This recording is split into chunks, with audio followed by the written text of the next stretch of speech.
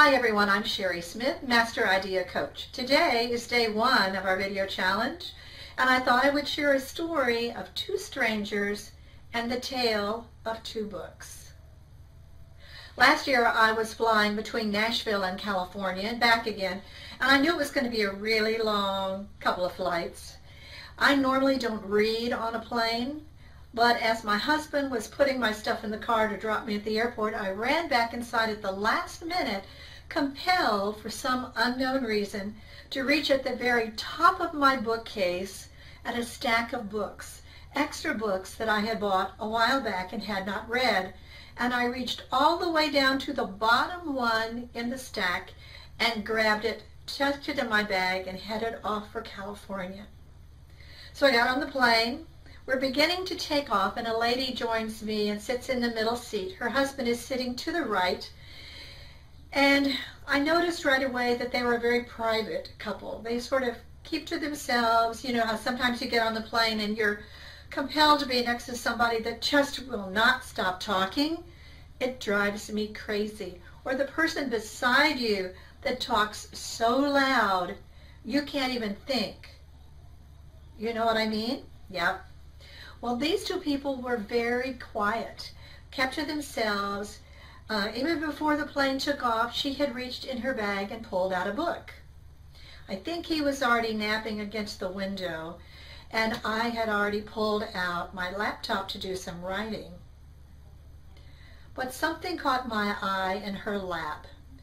It was the cover of a book, and I couldn't keep my eyes off of it.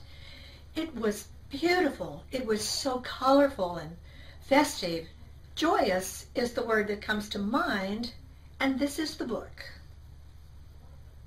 Can you see?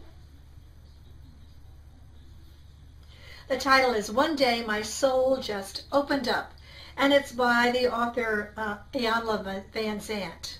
Difficult time saying that name, but she's a very popular author and speaker. And um, a lot of people follow her and know about her already. I had not heard of her. But the lady sitting beside me was reading her book like this. So this is what I saw.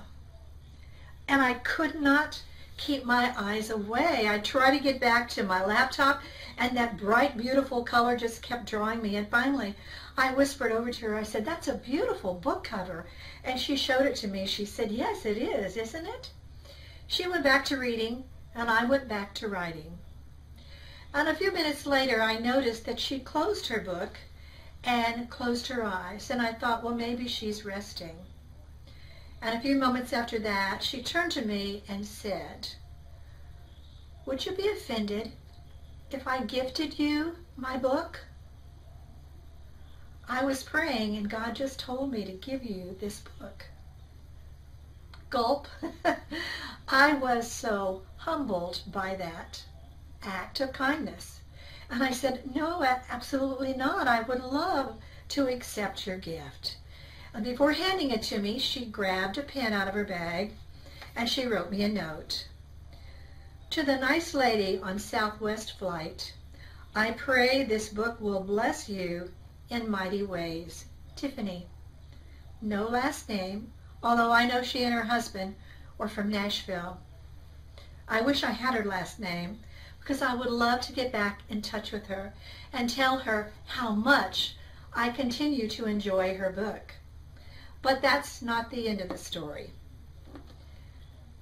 So in a few minutes after she gave me her book, she did take a nap, closed her eyes, put her head on her husband's shoulder, and napped for quite a while, well over an hour.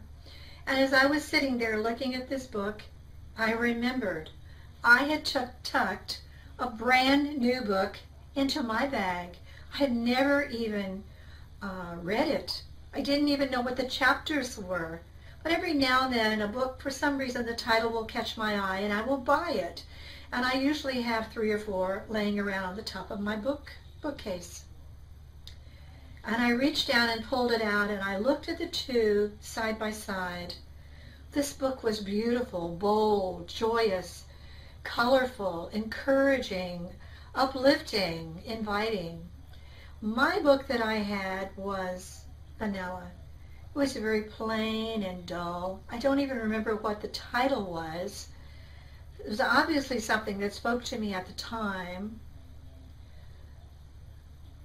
But to me, and it also, see how thick and lush this is? My book was much thinner. It was much smaller around, and I thought, that doesn't even begin to compare to this beautiful book. But I decided that I would give it to her anyway.